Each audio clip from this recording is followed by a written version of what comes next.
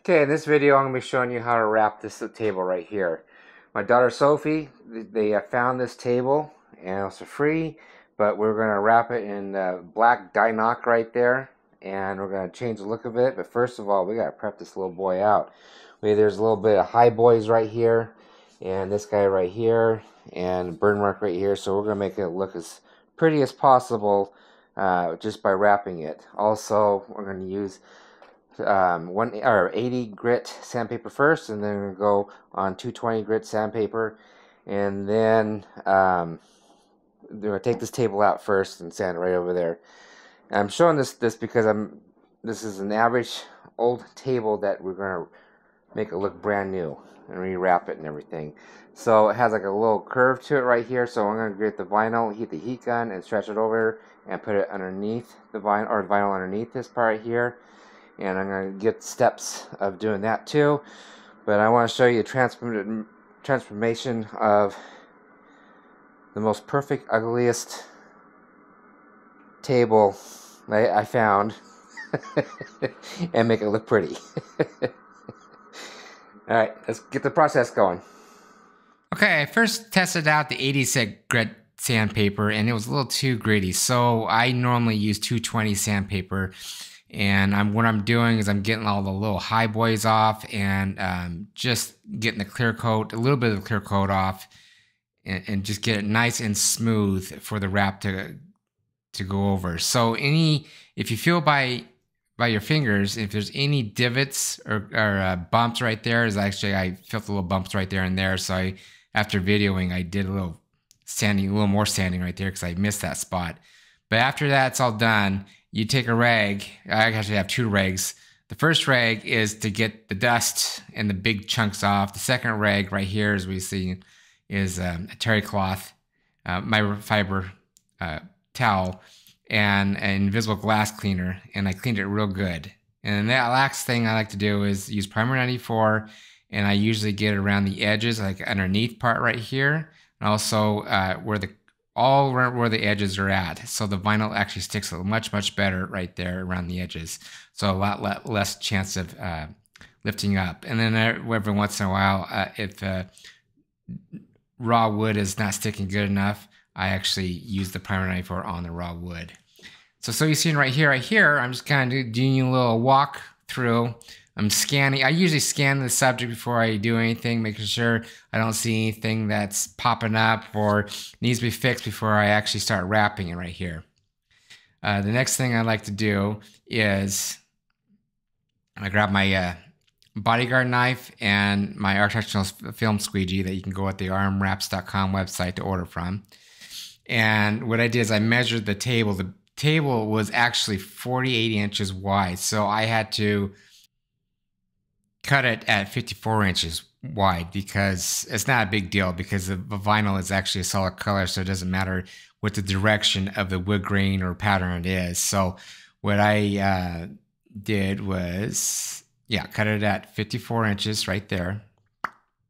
And I used my bodyguard knife, so it just it just basically cuts the vinyl, uh, but doesn't cut underneath like the table. So that's the reason. And you can buy. I'll put links down below where you can buy these tools and everything. So this is where I can kind of eyeball it, what is called dry installing it, and kind of figure out um, is it good enough to go through. So right now the vinyl comes for 48 inches wide, so I'm going to cut in half. So that gives me plenty of vinyl to do the top two uh, parts of the table. So I like to pre-cut all the subjects uh, before I start wrapping because I get in a rhythm uh, to do that. So now what I'm going to do is I'm going to measure the, I guess the lip that pops up. I'm going to measure that now. And I like to go a little bit over of that right there.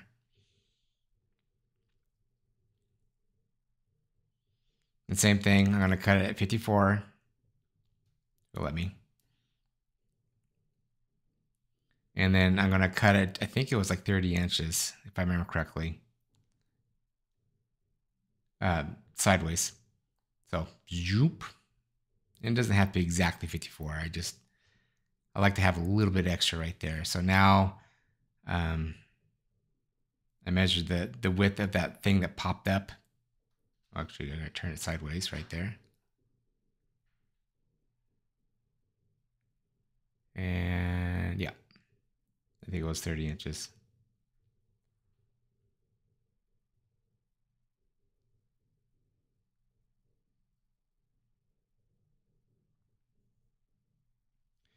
So I always leave the scraps and leftovers on another place, a little area. It is a tight area, but I was going to move it somewhere else. Okay, so let's start uh, doing the top part. And so anytime you're doing a kind of wrap, I see the back of the 3M, uh, the backing, I always have it in one direction. So prime example, when I was on a job, I was doing the exact same black and I was doing wall wraps. And so when I was doing the wall wraps, that um, I accidentally had the 3M reversed.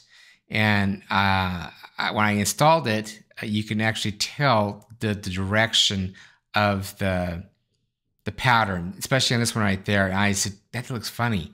And so uh, I realized, oh, I did that. So there was my mistake. So I'm telling you what my mistakes are. So keep it in mind.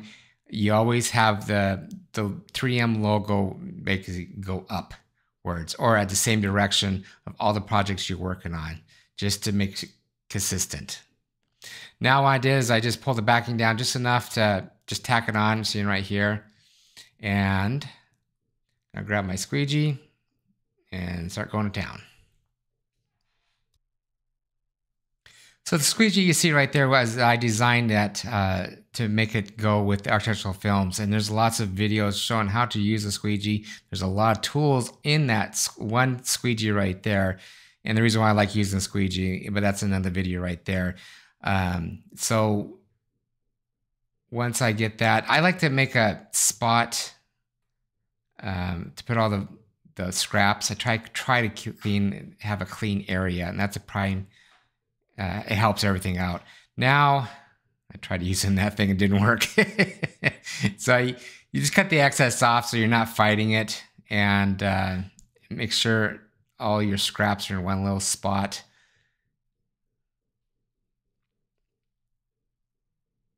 And if you're if you're looking like uh, if you want to do something like this, you can always go to the rmwrapsstore.com website. You can see a lot more, hundreds of different patterns, colors, designs, all kinds of stuff right there.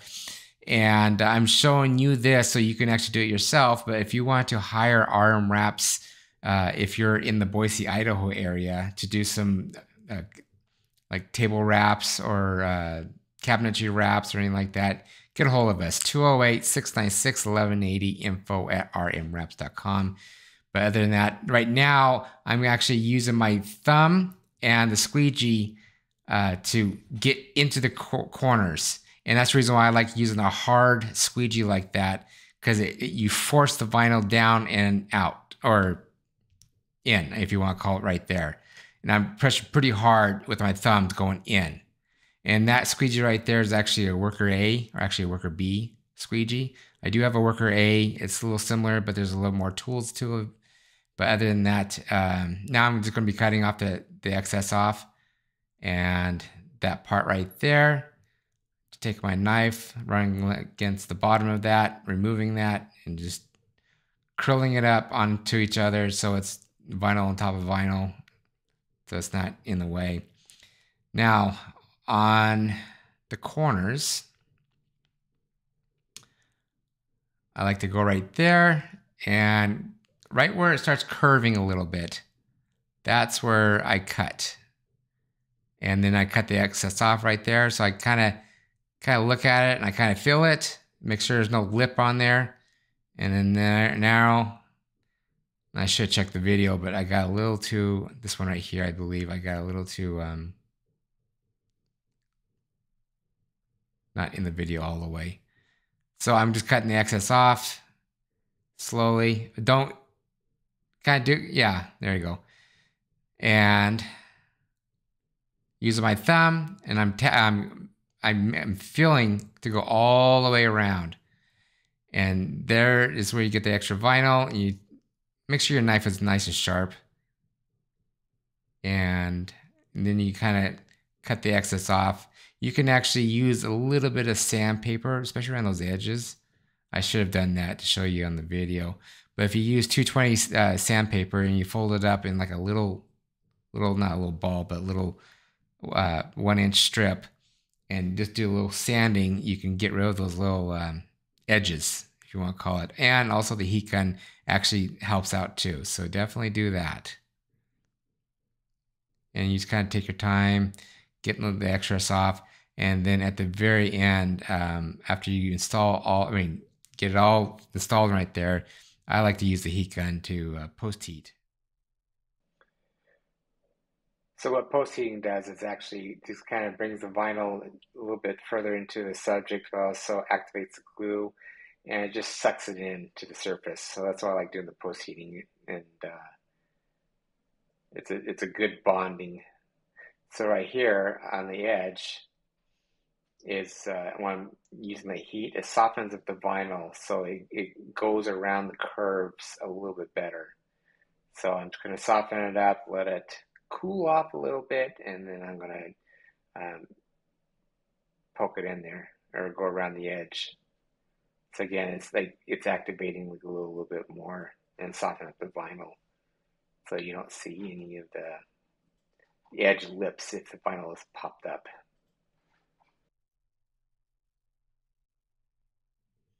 Okay, let's get the last of the vinyl on there. So I'm just checking, make sure the size is right on the table. Also, the 3M is going the same direction of all the other 3M logos. And now I'm to be pulling the backing down. It's going to be about a foot. And I'm going to pinch or crease the backing paper. And go right about there, crease it, flip it. And I want to make sure I have at least an inch going onto the black part, inch or two I'm tacking it on and double checking it, make sure it's the same width, if you want to call it. Now I'm using my architectural squeegee and I'm doing this way. Uh, I made it uh, that direct that design so you can kind of train yourself to when you're squeegeeing it, you need to have a 30 degree angle squeegee so you're forcing the vinyl down and out, the air bubbles out, and that's the reason why I kind of made it that way.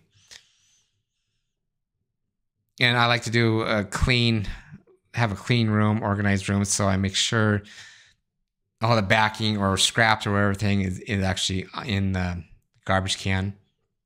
So you're not tripping over it or just getting it's getting in the way. And that's what I'm trying to avoid. Um, you get in, and that's a kind of a small room, so you need to stay as organized as possible. Even with a large room, uh, I like to have the garbage bay close by and throw it in the garbage once instead of throwing on the floor and then putting in the garbage. And that takes two steps instead of one step. Again, a clean room or clean area is a good area to be in.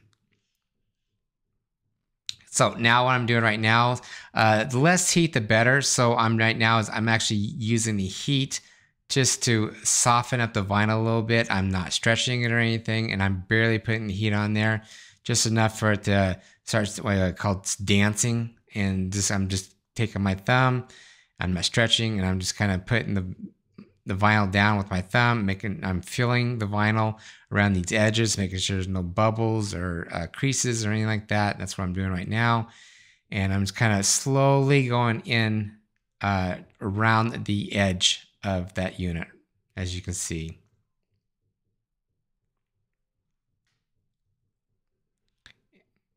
And again, I'm, I'm barely, I'm barely putting enough pressure downwards on there. I'm just getting, make sure the air bubble, there's no air bubbles right there.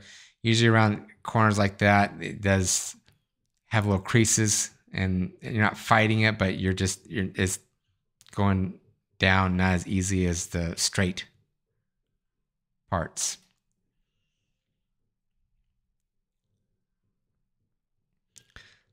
So I slowly do that and I keep on doing it. Kind of enjoy what I'm doing. I'm zoned into that moment. Just kind of pay attention to add enough heat on there just to get rid of those little fingers. If you add too much heat, you actually will um, you add a you kind of destroy the texture, but also uh, when you're stretching it, you, you, destroy the texture, but also it creates like a little sheen. In this when I'm going underneath the thing, you will see when I'm actually pushing more, uh, you know, have a little more pressure and a little more heat, you'll start seeing the sheen. But of course, I'm going to be cutting most of that off. So, and, and also it's underneath the table, so you won't see that sheen part. So just kind of be careful when you're stretching, because you, especially uh, a solid color like this, solid colors they look great, but they're also challenging because there's more chances of uh, showing that that sheen like or the stretch parts. And at the end of the job, what I do is I post heat everything, the surface, the, the around the edges and everything. So what that does is activates the glue and softens the vinyl and it sucks in this, uh, the surface. And, and, um, and when you're post heating, you can see the vinyl dancing and the bubbles popping up. And you, a lot of times I just take my thumb and just kind of uh, gently put it on there uh, and, or my squeegee and kind of go that way. So right now, what I'm doing is I'm right where the edge is right there. I want to do is I want on the right side of the vinyl uh, where the hinges are at. I want to release that vinyl right there. And I, I can't do it if I have, um, when I tuck the vinyl underneath that, the table, I can't do it. So I got to release that right now so I can bring the vinyl, or actually the table, that one side of the table down so I can get the vinyl tucked in and that I think it was one eighth inch um, lip on the table.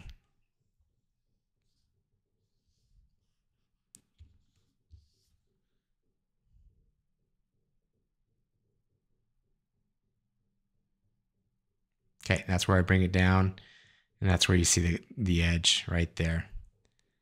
And I'm just kind of trimming that off. That's where I should look at the camera because I I'm focused right now, so I, I don't look at the my my phone to see where the video part is at. And I what I should have done is I should have looked at the phone a little bit more every once in a while. I should train myself to do that. Now I'm gonna take my squeegee. Well, I take my thumb right now I should, yeah, take my squeegee. And that's another reason why I like to have a hard squeegee. I'm actually pushing hard down on my squeegee. And so it's like pushed in there. And at the end of this right there, I'm going to use a little heat and actually sink it in even more with the heat gun.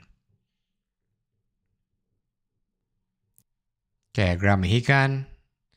A heat gun that's areas. So every areas I do, as I I wrap it and then I post heat it and I just treat it like that section is done. And I do that with a lot of my jobs. And I didn't, oh, there's a lower bubble right there. There you go. Okay, now I'm gonna do is I'm gonna come underneath and you can see how hard, I'm not hard, not, it's a hard stretch, but I'm stretching it to the point that it's actually um, making that sheen. I'm gonna show you if it shows it pretty soon. I try to get about a half inch um, going underneath that I can actually cut. So I'm trying to make it as perfectly as possible. There you go. And I, around the, the sharp edges like that, yeah, so you got to do a little bit at a time. Okay. Hopefully I can show you where that sheen, when I'm pulling really hard, is that where that sheen is at. That's where I kind of noticed it when I was doing it. And that, again, around that radius right there, that's where you have to pull real hard. Now I have to make sure, I want to make sure there's like a half inch bleed. Okay, so you can, there he goes. And I'm just tacking it on on that side because most of that is going to be gone.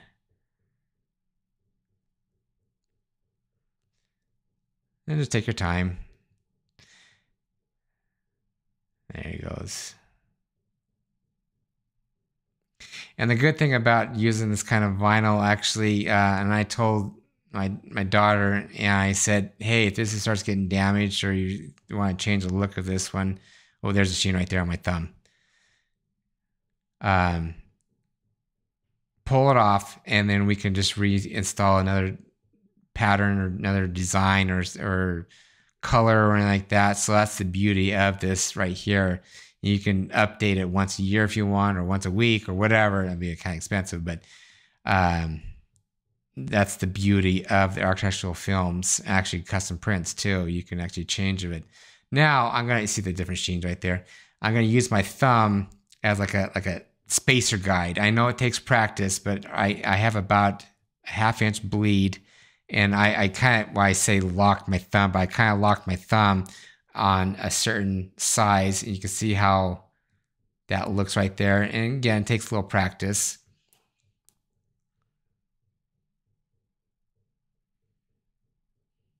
And there it goes. So it's a nice clean cut. I don't have any tools. Uh, I, every once in a while I try using tools, but I keep on messing up. So I'm used to it. Well, it's kind of old fashioned way. But I'm used to using my thumbs and my hands and everything. Um, you, there, there are tools like that. They're spacers. They, it's perfectly spaced, but again, thumb for my thumb is it does a really pretty, pretty good job, as you can see.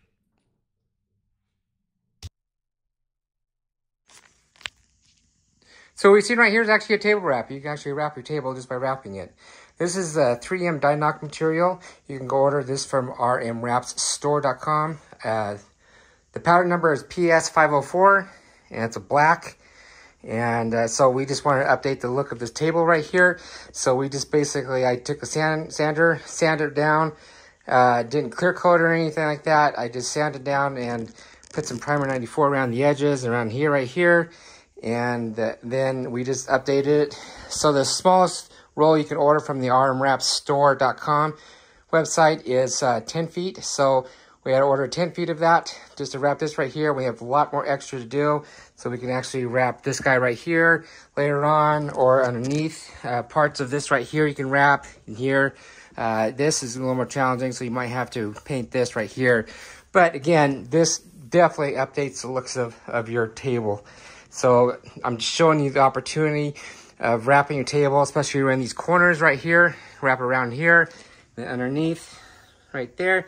That's the reason why I make this how-to video, so you can actually update your own table uh, just very quickly. I think it took me a couple hours to do, uh, and I took my time, and uh, yep, showing the possibilities of wrapping subjects around your house. So we have lots of other videos on the rmwraps.com website. In the middle of the uh, website, uh, you can see how to wrap architectural films.